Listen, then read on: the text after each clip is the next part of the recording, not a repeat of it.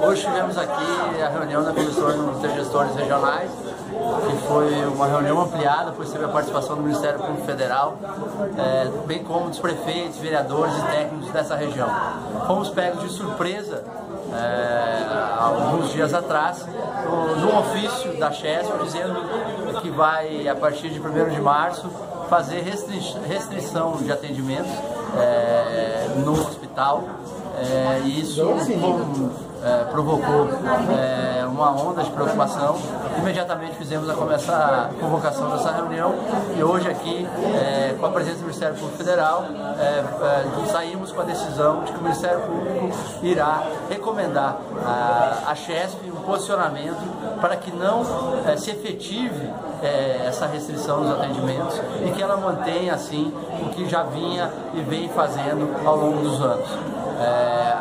Consideramos isso algo que possa vir a reverter, já que o principal caminho é o diálogo.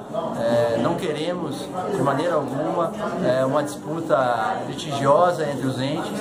É, vamos aguardar esse posicionamento com a esperança de que realmente se reverta essa decisão e que a gente é, continue com os atendimentos e ampliando. O Estado da Bahia já está aqui com um convênio de construção de 10 leitos de UTI no Hospital Municipal de Paulo Afonso, bem como, bem como a construção eh, da Policlínica Regional com todas as especialidades, eh, em parceria, através dos consórcios municipais de saúde. O que a gente quer é cada vez mais ah, melhorar eh, e implementar melhores serviços de saúde aqui na região de Paulo Afonso.